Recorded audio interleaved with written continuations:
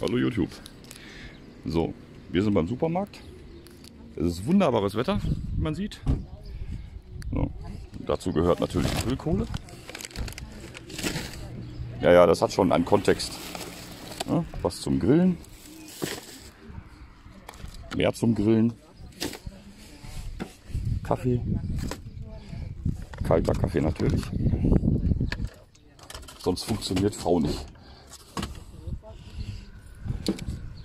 Von regelmäßig Kaffee nachfüllen, weil ich keinen Kaffee trinke. Ja. So, und wir müssen tanken. Ja, ich habe gerade bei der Tankstelle gesehen, wir sind bei 1,36 oder sowas in der Richtung. Ja, ich bleibe bei 99 Cent. Ja. Unsere äh, Ölmühle funktioniert gerade nicht. Wahrscheinlich Corona bedingt. Da würde es 60 Cent kosten. Okay. Aber bei den aktuellen Spritpreisen ist das immer noch eine tolle Ersparnis. So, ich mache mal auf, dann geht das los. So, alle Flaschen vorbereitet. Das heißt, ne, diesen fusseligen Plastikverschluss abgemacht.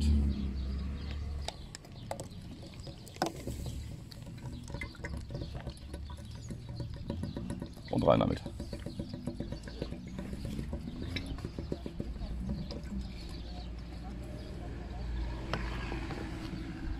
Im Übrigen äh, verbitte ich mir äh, diese Herumheulerei bezüglich, da werden Lebensmittel verschwendet. Man kann in jedem Supermarkt sehen, wie wir mit äh, Lebensmitteln umgehen, wenn man im Müll guckt. Ja. Wenn wir alle ein bisschen bewusster mit Lebensmitteln umgehen würden, wäre das hier kein Problem. Und wir hätten wirklich weniger Müll. Wie gesagt, im Normalfall fährt der Wagen mit Abfall. Auch Rapsöl, gefiltert und gebraucht. Deshalb sagte ich ja, keine fossilen Brennstoffe. Frau Baerbock hat sich da gegenüber Herrn Lindner ja schon wieder als sagenhaft unwissend geoutet. Ja. Man sollte vom Sachverhalt schon irgendwo ein bisschen Wissen besitzen, wenn man in so eine Diskussion reingeht. Ich glaube bei Lanz, nee, nicht bei Ilner. Keine Ahnung. Sie weiß einfach nichts. Scheint bei den Grünen im Moment ein Standardproblem zu sein, wie in der gesamten Politik. Wie gesagt, ich bin relativ unpolitisch, sehe aber, dass im Moment keiner mehr ein Konzept hat. Dieses Auto ist da und es fährt ohne fossile Brennstoffe. Jetzt muss ich meine Abgaslage und Anlage nur noch ein bisschen anpassen. Dann passt das auch mit Euro 3. Ja. Mit ein bisschen Fachwissen könnte man diese ganze Elektro, äh, diesen ganzen Elektroschwachsinn äh, verhindern. Ist einfach so. So, ich werde mal voll danken. Das dauert noch ein bisschen. Jetzt ist alles drin. Das Auto schreit auch noch nicht Aua. Naja, er ist es ja gewohnt. Allerdings der neue Motor. Haben wir jetzt erstmal mit Diesel eingefahren. Hm. So, wollen wir mal gucken. Zu Hause kommt noch ein Additiv drauf. Fließverbesserer. Ist äh, ganz ratsam. Nachts wird es ja noch mal kalt. Und wenn man den nachts starten möchte, könnte es dann eventuell ein bisschen länger dauern, bis er anspringt. Muss ja nicht sein. Ne? Anlasser muss man ja nicht jetzt äh, überbelasten. Kostet, glaube ich, einen Liter. Kostet irgendwie 8, 9 Euro oder sowas in der Richtung. Ist von Liquimoli. Wie gesagt, auch hier keine Werbung. Ne? Ist einfach so. Die haben das Zeug fertig. Und äh, gleichzeitig ist auch ein Reinigungsadditiv. Ja, praktisch am Supermarkt ist. Man kann den Quark auch gleich wegschmeißen. Vor Ort. Die haben Mülleimer hier. Ja, dann sehen wir uns gleich im Auto wieder. Ja, diesmal ist er nicht ausgegangen, aber man riecht schon sehr deutlich, dass, jetzt, äh, dass er jetzt auf Pflanzenöl fährt. Ja, Pommesbude halt. Aber wen kümmert es bei dem Preisunterschied? Mich nicht. Ist ja der hinter mir, der Hunger kriegt. Ja, außer es ist ein Veganer, der wird wahrscheinlich sterben, aber das ist dann auch nicht mehr mein Problem. der wird dann kompostiert und der Natur wieder zugefügt, äh, zugeführt. Ja. Okay, Geld gespart. Motor läuft genauso wie vorher. Ne? Also lasst euch nicht erzählen, dass äh, nur Elektroautos die absolut, das absolute Allheilmittel sind. Äh, ich wäre gespannt auf diese, äh, auf diese Eco-Fuels, muss ich ehrlich gesagt sagen, weil das ist der einzig sinnvolle, die einzig sinnvolle Methode, um den Fahrzeugbestand einfach CO2-neutral zu bekommen. Der Wagen fährt jetzt hier CO2-neutral. Weitestgehend. Natürlich nicht komplett. Das funktioniert bei keinem Auto, auch nicht bei Elektrofahrzeugen. Ja, immer dran denken. In Polen steht ein elf Blöcke Kohlekraftwerk, die unsere Kaspereien hier in Deutschland äh, mit dem Strom äh, abfängt. Ja? Jede äh, Windanlage, die ein Kohlekraftwerk ersetzt, etc., etc., etc. In Polen wird das ausgeglichen. Ist übrigens der größte äh, CO2-Emittent Europas. Der größte. Ja? Nur damit die Grünen sagen können, wir haben alles in Elektro. Nee, Habt ihr nicht. Der Strom kommt nämlich nicht nur aus der Steckdose. So, bis später. Ja, wie ihr das mittlerweile mitgekriegt habt, jetzt sind wir wieder zu Hause. Er fährt ganz normal. Ist bekannt. Der VW TDIs, die alten, die halten das auch aus, Mercedes sowieso. Bei den aktuellen Spritpreisen ab in den Supermarkt. Ist einfach so. Oder in Großmarkt, wer selbstständig ist. Ja. Echt, Kater? Ja. Äh, ja. Bezüglich Wiese. Auf dem Kanal meiner Frau habt ihr ja einiges gesehen, dass hier ziemlich viel Wiese ist. So, jetzt das Problem ist, äh, ab und zu muss das ja auch doch noch mal so ein paar Wege reingemäht werden.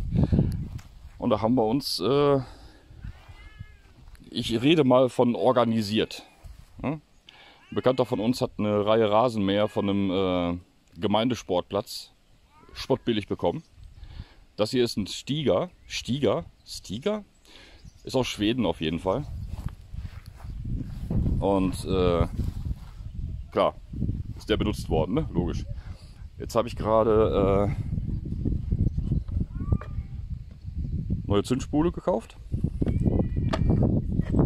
Der Zündanlassschalter scheint irgendwie eine Macke zu haben. Der äh, brennt die äh, Zündspule durch. Deswegen wird er in Zukunft per Taster eingeschaltet, gestartet. Äh, ausgemacht wird er über einen Killschalter. Ja. Da habe ich in dem gelben Landy, habe ich da unten diese komischen Schalter, die ich nicht zuordnen konnte. Die sind tot. Da ist nichts drauf. So. Ja. Zugmagnet. Schrägstrich Zündanlassschalter. Ja. Muss ich mir gleich die Verkabelung nochmal genau angucken, wie das funktioniert. Wie gesagt, es wird ein bisschen umgestrickt.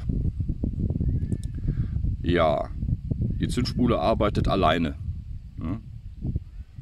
Das ist schon mal klar. Ja. Ja, insgesamt gesehen, hier scheint mein neuer Anlasser gekommen zu sein. Ist aber auch eine bekannte Problematik bei dem Ding. Der Motor dreht vernünftig. Ja.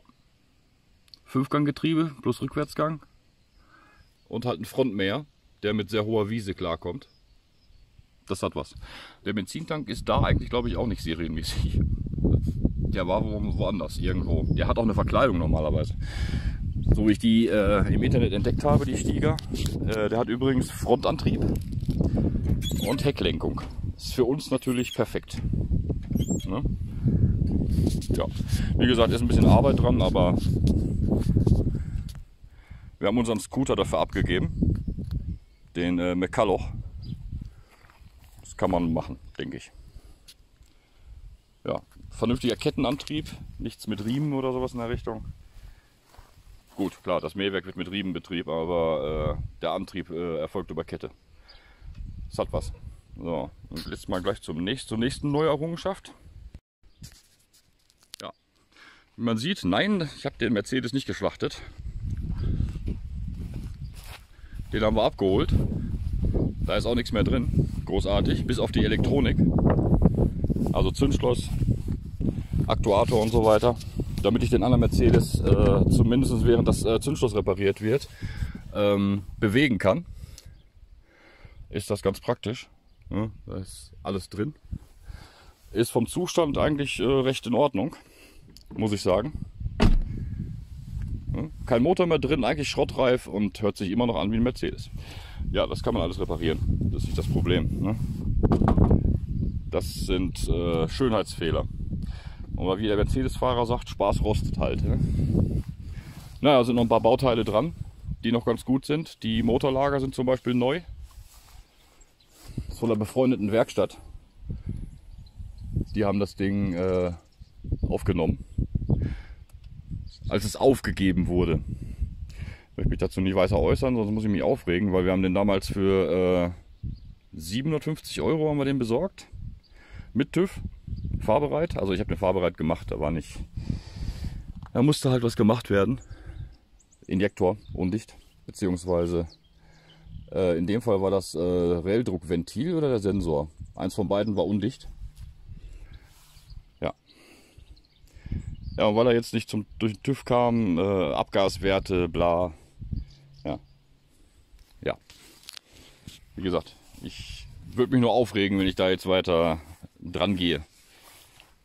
Zumal diese Autos selbst im, in diesem Zustand mit Motor und Getriebe immer noch einen Exportpreis von über 800 Euro haben. Ne? Also jeder zahlt 800 Euro dafür, egal wie das Ding aussieht. Ne? Die gehen in Export. Wenn die sich bewegen, 800, immer. Wenn es schnell gehen soll, 500. Minimum. Ja. Deswegen ist äh, Schlachten auch immer ziemlich hirnlos. Außer man muss in dem Fall äh, einen Vito wieder auf die Straße bringen der relativ aktuell ist. Äh, in dem Fall ist das so. Der Motor ist in den Vito gegangen und der Mechaniker vor Ort fährt das gleiche Auto, der hat sich das Getriebe gesichert. Ja. Zumindest ist die Technik noch unterwegs sozusagen. Alles andere werde ich mir jetzt äh, schnappen. Und sage und schreibe, man ein bisschen Ahnung von äh, Karosserie hat, hat dieses Auto jetzt immer noch einen Wert in Teilen von über 1000 Euro. Ist halt so. Ne? Ja, alleine die Heckklappe, die hat nämlich keine Durchrostung. Ja, hier ist ein bisschen Rost dran. Ja, aber das ist nichts. Ne? Das ist nur ganz, ganz, ganz, ganz kleines bisschen oberflächlich. Ja, die wichtigen Sachen sind in Ordnung. Die werde ich jetzt aufbereiten. Die wird neu lackiert, weil eine rostfreie Heckklappe ist die goldene Mauritius des Mercedes W203 oder S203 genauer. Wie man sieht, ist er eigentlich in einem Top-Zustand für den Mercedes. Ne? Wir reden immer noch von einem Mercedes, äh, der noch äh, unter dem äh, verseuchten Tauchbettenbecken gel gelitten hat. Gibt es eine Doktorarbeit drüber. Ja, das ist keine Blech, schlechte Blechqualität, das ist die Umstellung auf Wasserlack gewesen, die das hier verursacht hat. Lässt sich aber reparieren. Ne? Soll halt besseren Lack drauf machen, weil äh, strukturelle Durchrostung hat der Wagen nirgendwo. Wirklich nirgendwo. Ja. Von der Theorie her könnte man einen Motor wieder reinbauen und äh, der Wagen wird noch 20 Jahre laufen. Ganz ernsthaft. Ja, muss gucken, ob ich den Zündschlüssel finde. Den habe ich irgendwie nicht gefunden. Mal sehen. Ja, sind auf jeden Fall noch einige Sachen zu gebrauchen. Sämtliche Steuergeräte sind noch drin. Ja. Perfekt. Dann schauen wir mal weiter. Ja, wie man hier sieht, die Bremse hinten ist so komplett äh, fertig. Alles entrostet, alles wieder gangbar gemacht. Vorne mache ich jetzt gleich. Dann kann er wieder auf seine Räder. Die zweite Alufelge für die Seite. Ich glaube, einen Reifen muss ich umdrehen. Da hat jemand beim Reifenmontieren äh, nicht auf die Laufrichtung geachtet. Ist aber jetzt kein Beinbruch, den Reifen einmal umdrehen zu lassen. Die anderen passen nämlich komischerweise. Ja, kann passieren. Ist mir auch schon passiert. Und dann, als äh, alles am Auto montiert war, äh, konnte ich äh, einen wieder abbauen und äh, den Reifen umdrehen. Passiert. Ne?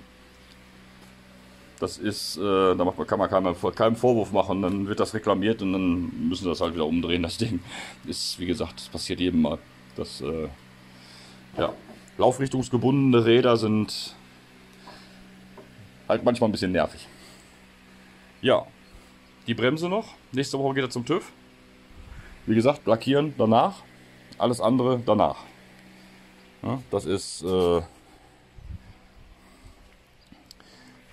nicht so wichtig für den TÜV. Eigentlich überhaupt nicht. Ja, Stoßstange wird befestigt, beziehungsweise ist teilweise schon befestigt, äh, also ist eigentlich schon fest. Ich will die hinten. Ja, jetzt sitzt sie vernünftig. Hm. Egal. Ja, hier drin läuft auch der Ventilator, ist schön warm. Nette 27, 28 Grad bestimmt.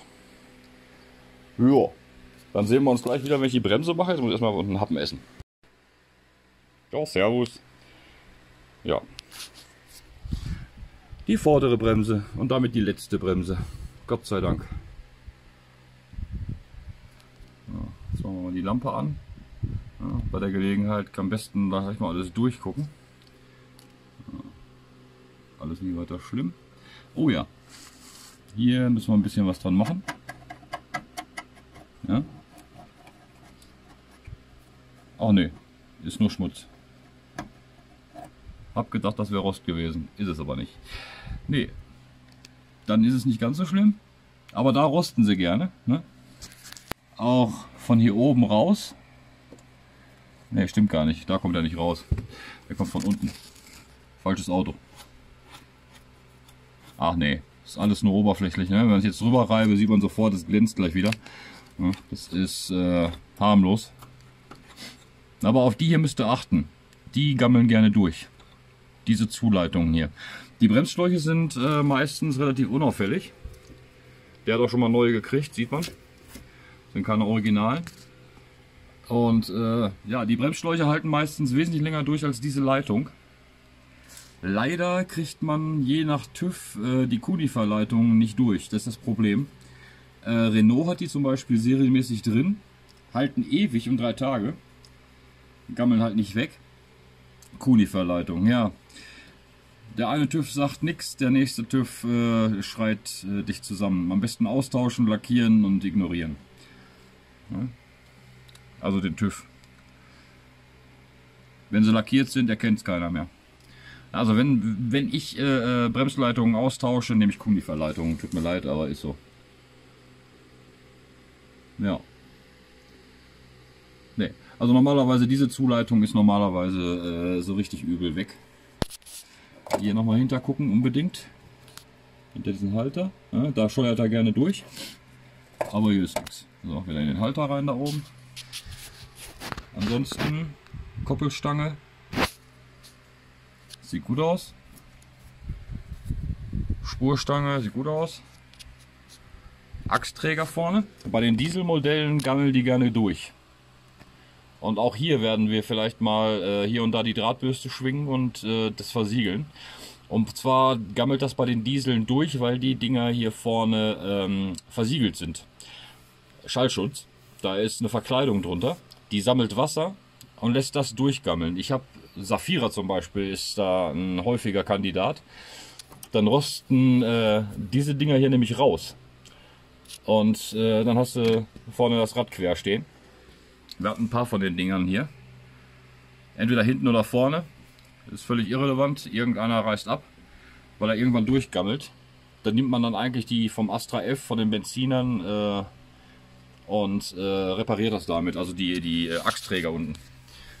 die kann man wechseln, wenn man den Motor äh, und das Getriebe hoch, hochzieht. Kann man das unten komplett auseinandernehmen und äh, austauschen. So, jetzt nehmen wir uns einen kleinen Hammer. Bei der anderen Seite habe ich das ohne euch gemacht. Deswegen machen wir das hier nochmal in Ruhe. So, das sind besagte Rostplacken, die ich immer meine. Ja, den allgemeinen Zustand mal angucken.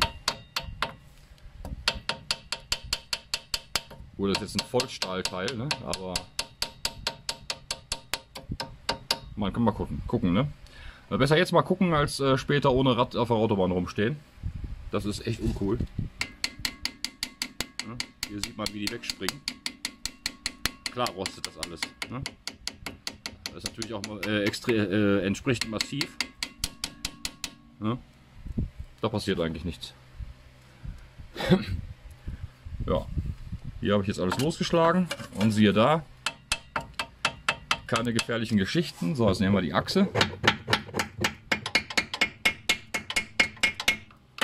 Wenn sich das so anhört, heile. Ne? Gerne auch ein bisschen stärker schlagen. Der TÜV-Prüfer kennt, kennt da nämlich auch keinen Erbarmen. Der haut auch ordentlich drauf. Und zu eurer eigenen Sicherheit mit dem Hammer draufhauen, gucken, was ist da los, was ist am Bach. Ja, das ist eure Sicherheit. Ne? Wenn die Dinger auf der Autobahn wegreißen, ist das nicht witzig. Vor allen Dingen nicht, wenn man äh, über 140 fährt.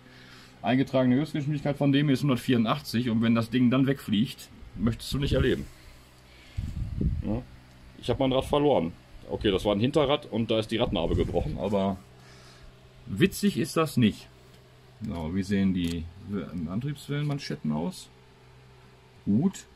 Lenkung scheint gut zu sein. Muss ich von oben noch mal gucken. Von hier sieht man natürlich nicht viel. Ja, die Achsteile. Also der Querlenker, der Dreieckslenker hier vorne ist äh, auf jeden Fall schon mal neu gekommen. Der ist nicht original.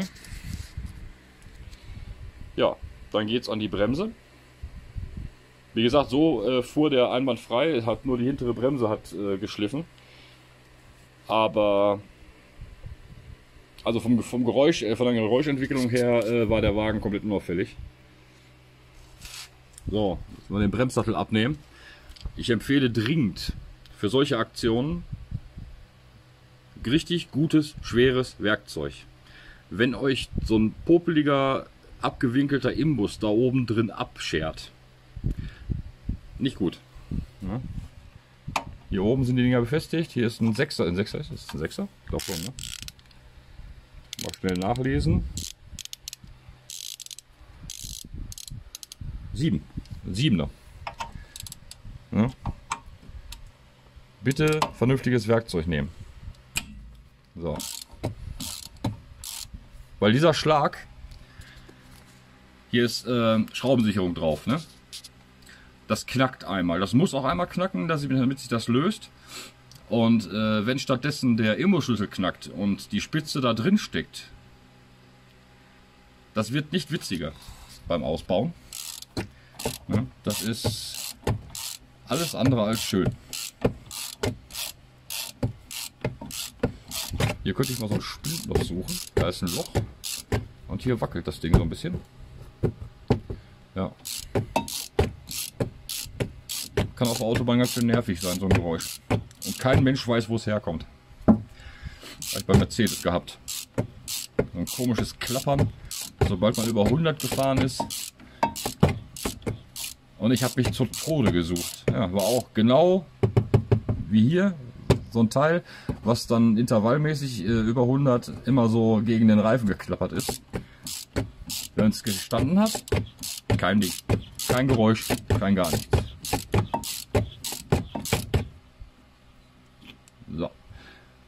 Die sehen gut aus. Sauber machen, wieder einbauen. Gibt es aber auch günstig neu. Ne? Also so, was haben wir da unten? Da ist er.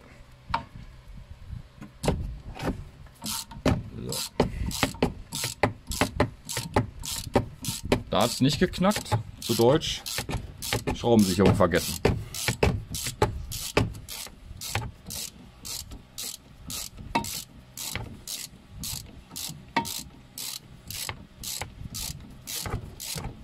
Ja, ist halt so.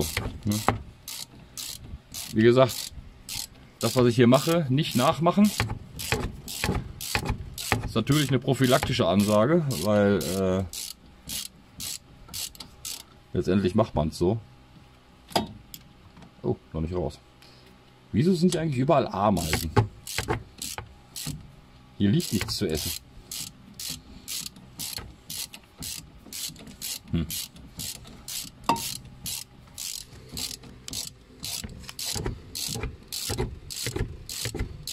Äußerst eigenartig. Ja, ich habe mir gedacht, ich mache es heute mal ohne Zeitraffer.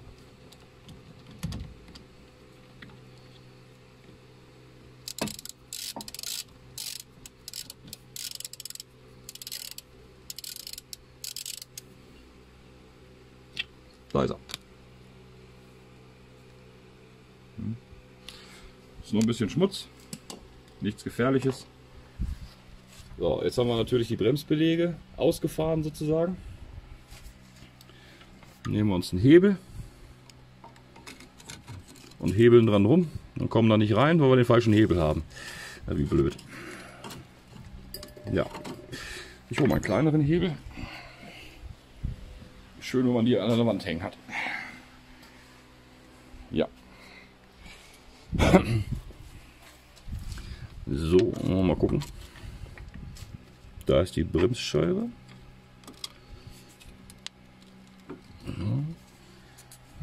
Mal kurz den, Kollegen da zurückbiegen. So. So, hier soll man jetzt sehen. Ich gehe jetzt mit dem Hebel vorsichtig hier rein. Nicht zu weit. Ja, das Ding sauber machen, bevor man es ganz reindrückt. Ganz wichtig. So.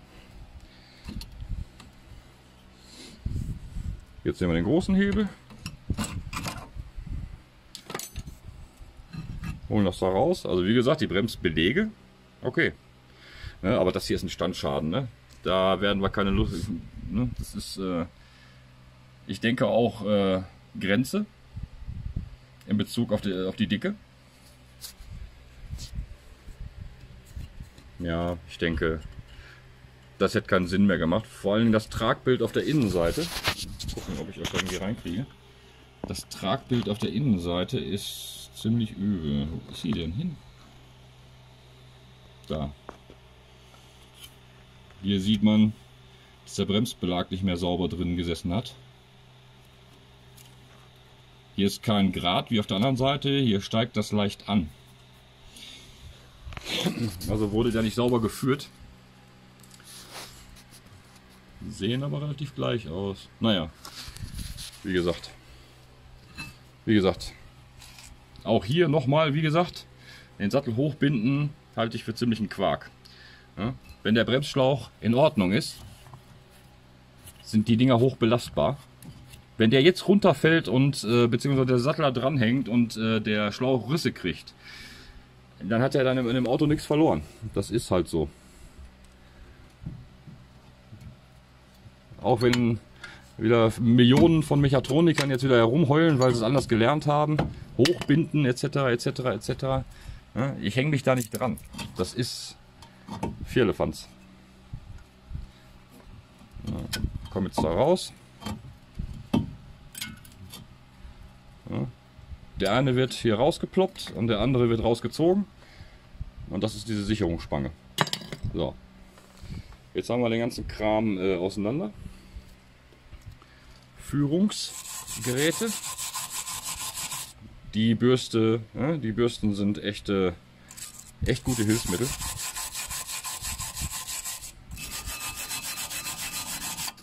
Ordentlich sauber machen. Darf gerne ein bisschen stauben.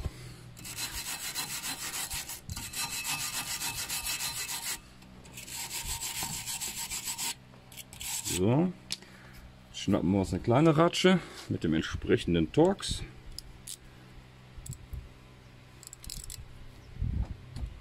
Ist die Bremsscheibe.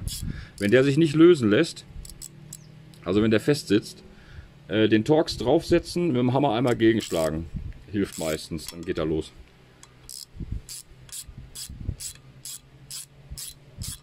Das geht äh, relativ fix. So. Ihr kriegt jetzt einen kleinen Schlag in den Nacken.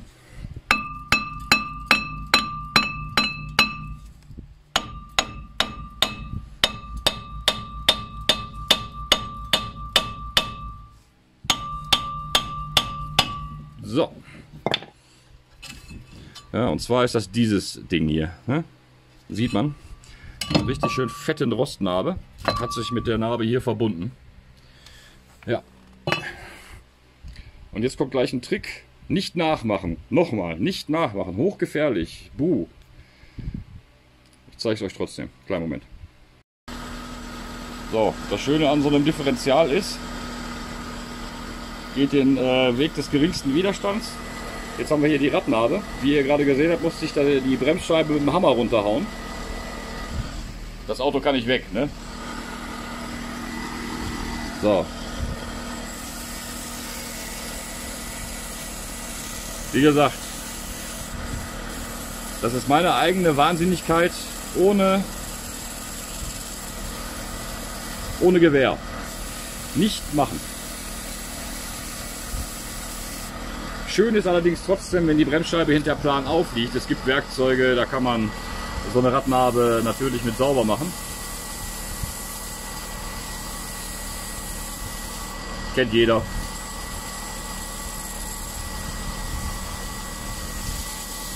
Aber ich will ja hier zeigen, äh, wie man es zu Hause hinkriegt. Unter die Räder kommen selbstverständlich Keile. Unter die restlichen, die jetzt unter auf dem Boden sind.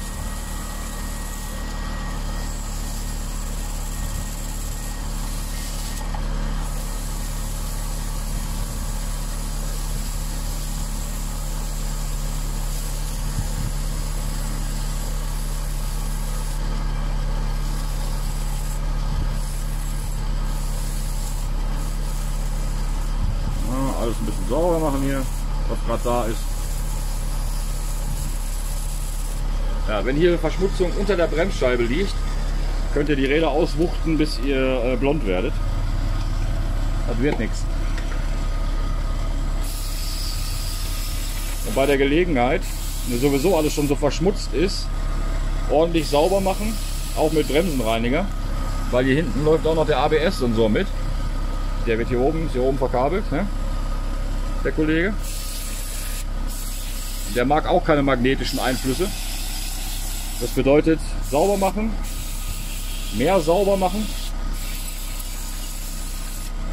einfach sauber machen.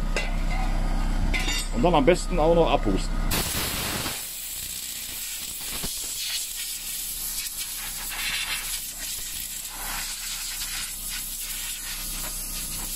Ja,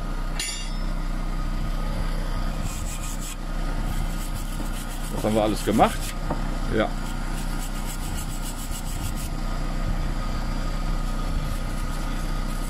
So, jetzt können wir den Scheiß ausmachen.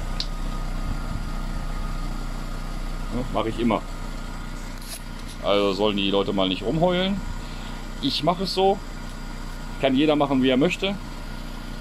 Ich hatte auch mal so ein Rattenhabenreinigungsgerümpel, aber äh, ja, die sind beschissen teuer und die brauchst du eigentlich nie bis auf diese Gelegenheiten natürlich. Ne?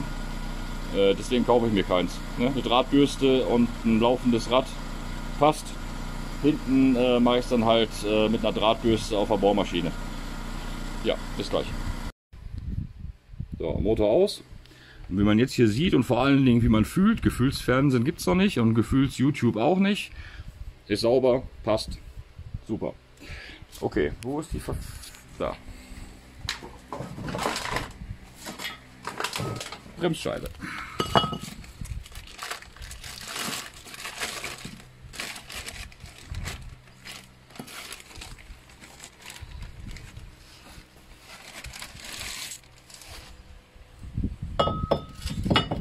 Ja. Irgendwo war hier das Loch. Da. Ja. Fühlt sich gleich viel besser an glaube, da war doch in dem Karton irgendwas bezüglich einer Schraube. Oder war die hinten? Ach nee, die waren da hinten, für hinten bei. Ja. Ja, nehme ich die halt wieder, ne? Die ist ja noch gut.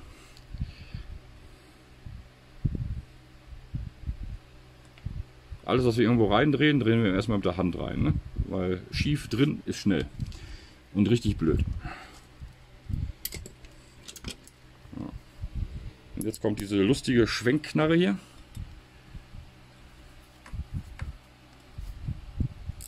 Die kann man natürlich nicht in meinem Shop kaufen.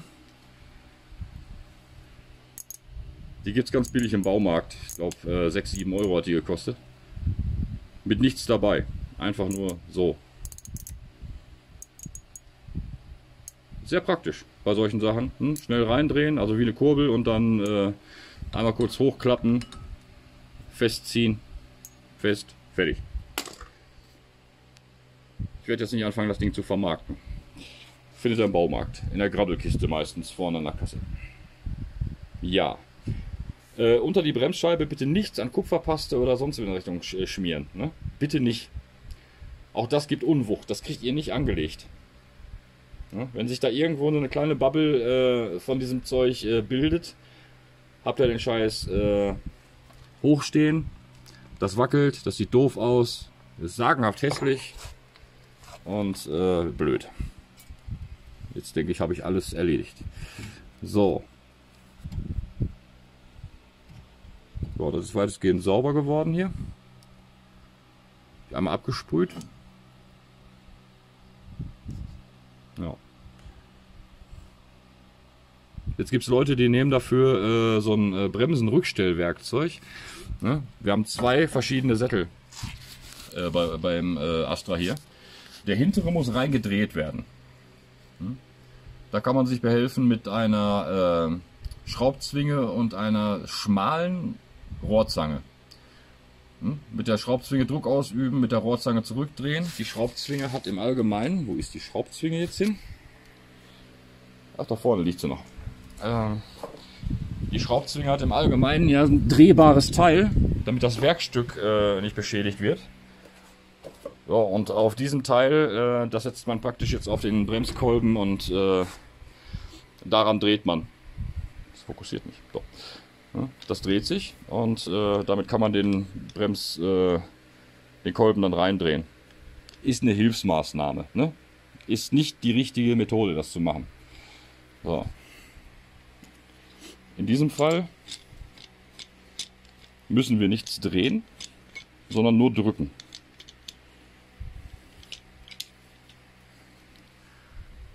Ich mache das folgendermaßen. So. so, wie man sieht, sitzt er jetzt drauf. Jetzt drehe ich ganz normal an dem an der Schraubzwinge. Schön langsam, dass sich die Bremsflüssigkeit schön zurückziehen kann.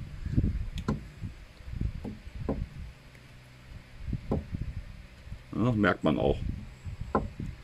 Dabei merkt man auch, äh, zum Beispiel, habe ich das bei einem anderen Auto mal gemerkt, mit diesem Rückstellwerkzeug hat man nicht so viel Gefühl, finde ich, ist meine persönliche Meinung. Wenn man das hier jetzt dreht, ja, man sieht ja jetzt, wie der Kolben reingeht.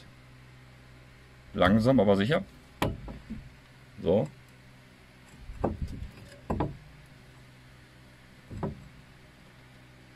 So. Das Problem an der ganzen Sache ist, mit dem äh, Bremsenrückstellwerkzeug merkt man folgendes nicht. Ähm, wenn der Bremsschlauch von innen aufgequollen ist, das merkt man nicht. Das ist eine relativ gefühllose Sache. Das hier, äh, wenn man das mir hiermit macht, meine, das ist wie gesagt nur meine Meinung, merkt man das recht deutlich. Und zwar hat man jetzt gesehen, ich weiß nicht, ob ihr es gesehen habt, der Kolben ist elastisch. Der kam jetzt wieder ein Stückchen raus, als ich gelöst habe. Und wenn man es reindrückt, merkt man auch, ob es ein gleichmäßiger Widerstand ist oder ob ich irgendwas überbrücken muss. Wie zum Beispiel jetzt äh, einen blockierten Schlauch. Viele Bremsprobleme sind äh, innen aufgequollene Schläuche. Bremsflüssigkeit nicht zu lange, äh, zu lange nicht gewechselt und dann äh, hat man den Salat. Das ist das große Problem. Und äh, ja, wenn die aufgequollen sind, lassen die den Druck durch, die lassen euch bremsen, aber die Bremsen lösen nicht mehr. Das gibt ein überhitztes Rad, überhitzte Bremsen, Gestank. Alles total uncool. Ja, und äh, wenn das dann soweit ist, werdet das merken, das wird nämlich teuer. Ja, einmal komplettes Bremssystem, neu, alles neu. Okay, ich werde das jetzt mal alles sauber machen, einpinseln etc. Dabei äh, verstecke ich euch wieder. Äh, ich hole euch gleich wieder. So, alles wieder zusammengefusselt. Wie gesagt, der wird von vorne reingeschoben, der andere wird in den, äh, in den Bremskolben eingesteckt. So. Dazwischen ist die Bremsscheibe. Alles vernünftig geschmiert, hier oben auch. Wie gesagt, ist nicht unnötig. Das hat durchaus äh, eine Begründung und auch einen Sinn. Ja. So, wir gucken, dass wir den Bremssattel hier vernünftig eingesetzt kriegen. Ein paar Mal draufhauen hilft immer. So, jetzt kommen die Kollegen hier wieder rein. Schauen wir mal.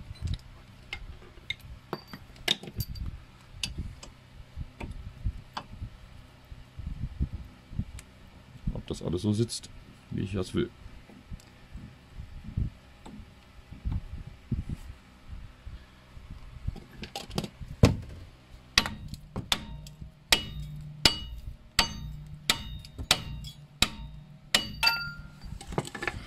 Ja, ja, so ist das.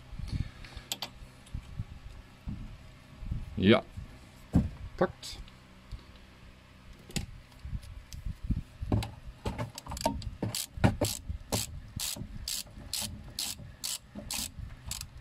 Ja, nur kurz ansetzen, sonst äh, hakt ihr euch mit dem anderen. Ja, wird das schon gehabt. Ein Bremssattel, da habe ich echt eine Stunde dran gesessen, bis ich gemerkt habe, dass die Schraubenlöcher da überhaupt nicht übereinander gesessen haben. Ich habe das nicht auf die Reihe gekriegt. Manchmal aber einfach ein Brett vor dem Kopf. Ja. Ist halt so.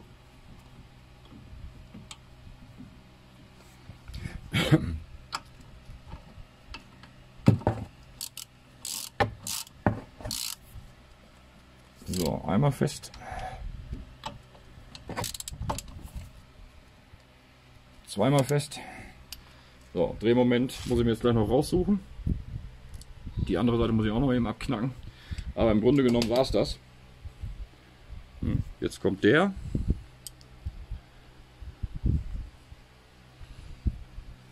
Der kommt jetzt hier hinter.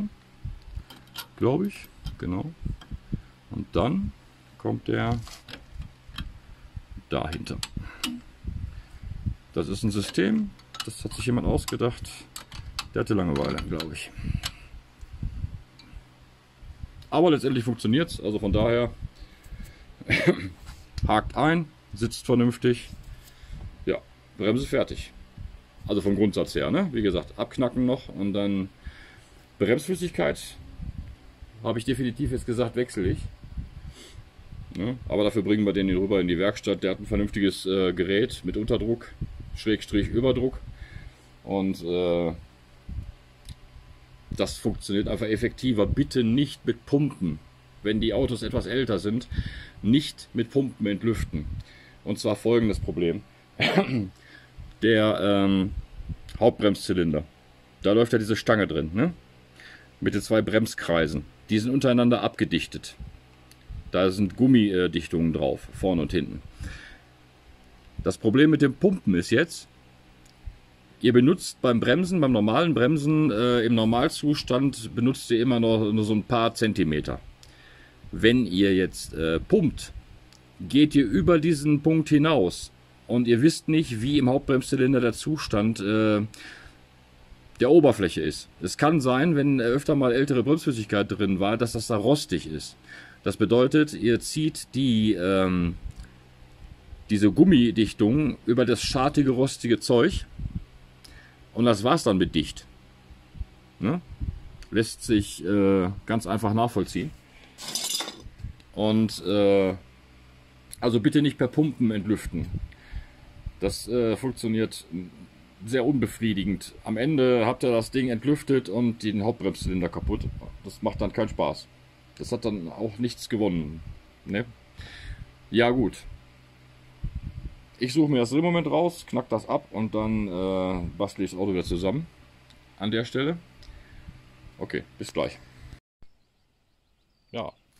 Nochmal zurück zum Stieger oder Stieger oder wie auch immer zum Teufel das Ding heißen mag. Achso, äh, der Trockner ist jetzt ein Grill. Äh, bin noch nicht ganz fertig mit dem Konzept. Ja. Der Zündanlassschalter sitzt jetzt da. Das Zündschloss ist raus. Hier an die Stelle kommt die Batterie. Ich muss noch einen Batteriehalter bauen. Weil der alte war mehr oder weniger für eine Motorradbatterie gedacht. Und äh, die Dinger mag ich eigentlich gar nicht. Ich habe jetzt die erstmal dran. Zum Testen. Ne? Äh, die Verkabelung ist jetzt ein bisschen anders. Wie gesagt, der Zündschalter war kaputt.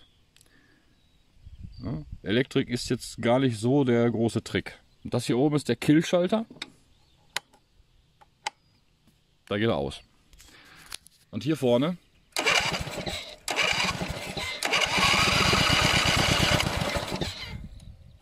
ja, ein bisschen mehr Gas geben.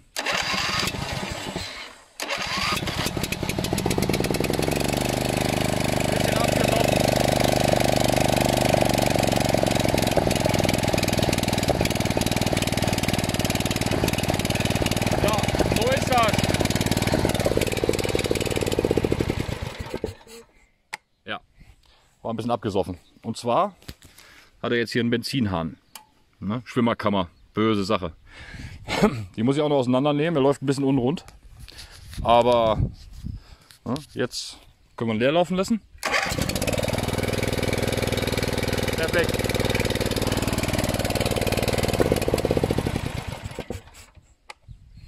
Ja, die neue Zündspule ist drin. Alles ein bisschen umgebaut. Wenn den einer klaut, das hören wir. Außerdem, wie gesagt, hier ist alles kameraüberwacht. Ja, ja Fünfganggetriebe sitzt da vorne. Ja, hier ist der Schalthebel. Rückwärtsgang, neutral, erster, zweiter, dritter, vierter, fünfter. Ja, Fünfganggetriebe. Da war auch mal eine Verkleidung drum, glaube ich. Hummel. Geh weg. Ja, da war mal eine Verkleidung drumherum, aber wie gesagt, das brauchen wir alles nicht. Ne? Das Ding soll Rasen mähen. Dann habe ich gesehen, da diese Spannrolle, die da hinten ist, wo der Riemen jetzt nicht drauf ist. Die muss ich eventuell wechseln. Da werde ich wahrscheinlich eine vom Auto nehmen. Das äh, geht auch. Das ist immer gut, wenn man nichts wegschmeißt. Ne? Ja, dann wird das äh, Mähwerk auch ein bisschen besser funktionieren. Es bleibt jetzt halt ein bisschen stehen. Ne? Okay, das ist alles jetzt nicht so wild. Ja, bis jetzt gefällt mir das ganze Ding gut. Ich überlege gerade diesen Heckstoßfänger, ob der Serie ist. Auf jeden Fall ist er teilweise abgerissen. Aus dem Rahmen rausgerissen oder sowas. Ja, ja, ja, ja. Das sieht so aus. Ich werde das wahrscheinlich noch mal richtig festmachen. Dann kommt hier eine kleine Anhängerkupplung dran. Ja, dann kann man auch mal so ein bisschen was damit arbeiten. Also ich bin jetzt eine Runde gefahren mit dem Ding, also geländemäßig. Puh, der kann ganz schön was. Auch wenn er nur Zweiradantrieb hat, also Frontantrieb in dem Fall. Er kann was. Ja. Startet sofort. So kann man damit arbeiten. Ja gut. Ich denke, das äh, hat er noch ein paar Tage Zeit. Ja, fängt gleich an zu regnen, glaube ich. Ja, der Astra. Habe ich gerade, glaube ich, schon gezeigt. Bremse ist fertig. Mhm, mhm, mhm. Ja, Bremse ist fertig. Gut aus. Alles andere. Ach so, ich wollte noch was gucken. Stimmt. Thema TÜV. Ist die Feder gebrochen? Nein. Ja, das haben die gerne mal. Ja, hier oben sitzt das Wasser drin. Und äh, da sumpft das alles so vor sich hin. Deswegen fette ich die oben gerne ein. Also besonders hier in dem Teller. Ja. Kommt auch noch ein ordentlicher Hub äh, Schmierfett drauf. Ist einfach besser. Ne? Federnwechsel macht keinen Spaß. Ja. Hier muss ich gleich noch ein bisschen was wegnehmen. Ein bisschen aufgeblüht. Das ist auch wieder ne? Aufprall vom Rad. Ja. Alles nicht so wahnsinnig schlimm. Ne, ansonsten sieht er gut aus. Vom Blech her. Aber richtig gut. Hier und da ein bisschen Flugrost auf der Achse ist normal. Wie gesagt, ich habe das gesehen, ich habe das abgehämmert. Da passiert nichts. Keine Probleme. Ja. Dem TÜV steht, glaube ich, nichts mehr im Wege. Morgen hole ich ihn äh, von den Böcken runter. Dann äh, kommen die Alufelgen drauf. Die, ähm, der eine Reifen muss umgedreht werden. Das mache ich beim Bekannten. Der hat äh, eine Werkstatt hier in der Nähe. Ich habe kein Reifengerät. Ich wüsste auch nicht, warum ich eins brauchen sollte. Solange die Kollegen in der Nachbarschaft welche haben. Ja? Hier ist das noch ein bisschen mit der Nachbarschaftshilfe. Hier funktioniert das noch. Ja. Ich denke, ich werde das Video fertig machen, bevor es gleich hier ne, die Welt untergeht. Einige Teile Deutschlands sind schon untergegangen. Sieht nicht gut aus. Ja, hier geht's eigentlich. Hier kommt eigentlich nie was. Das ist das Problem. Überall geht die Welt unter und hier passiert nichts. Ja. Ja, so ist das. Ich denke, ich werde das Video mal fertig machen. Weil wenn der Rasenmäher fertig ist, ne? Oh, das sage ich dir. Das wird noch Arbeit. Nein, Quatsch. Ist nicht unsere Angelegenheit. Das ist alles Tierfutter. Hier vorne. Hm? Die Wiese wird einfach wild gelassen. Da vorne ist schon ein Stück abgemäht. Und damit die Tiere sich zurückziehen können, lassen sie die Seite stehen. So, und wenn die Seite hochgewachsen ist, wieder ein Stückchen, dass die Tiere rüber können, fangen sie hier an. Das ist äh, Naturschutzgebiet. Ist kein Scherz, ist wirklich äh, Naturschutzgebiet. Ja. Tomaten fangen auch an zu wachsen. Ja, sieht alles ganz gut aus. Ich denke mal, ich werde das Video fertig machen. Und äh, wünsche euch einen sanften Start in die Woche. Lasst euch nicht ärgern. Bis zum nächsten Mal.